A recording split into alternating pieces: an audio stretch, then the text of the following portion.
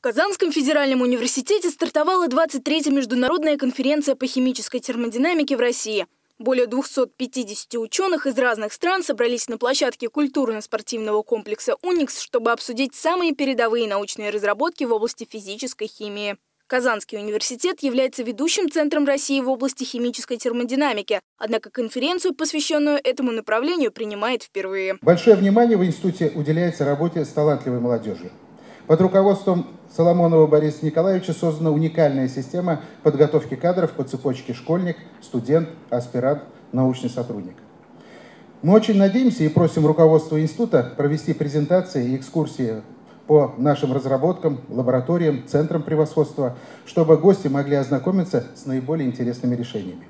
Международная конференция по химической термодинамике проводится с 1961 года. Ранее мероприятие проводилось на базе ведущих университетов Москвы, Новосибирска и Санкт-Петербурга. Конференция была запланирована еще на 2021 год. Однако из-за неблагоприятных эпидемиологических условий ее пришлось перенести на 2022. В программу пленарных сессий вошли выступления не только российских, но и зарубежных ученых. Так, в первый день конференции на сцене КСК КФУ «Уникс» о своих исследованиях в области химической термодинамики рассказали представители ведущих университетов Италии и Соединенных Штатов Америки.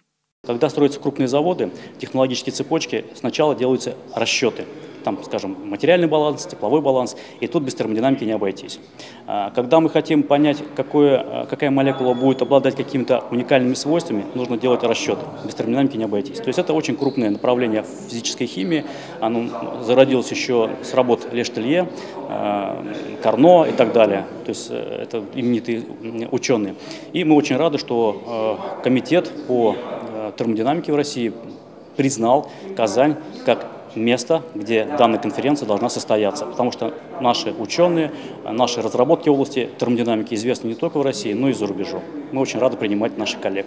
Помимо пленарных лекций и стендовых сессий для участников конференции и сопровождающих лиц будет проведена культурная развлекательная программа. Закрытие конференции состоится 26 августа. Маргарита Михайлова, Александр Кузнецов. Univer News.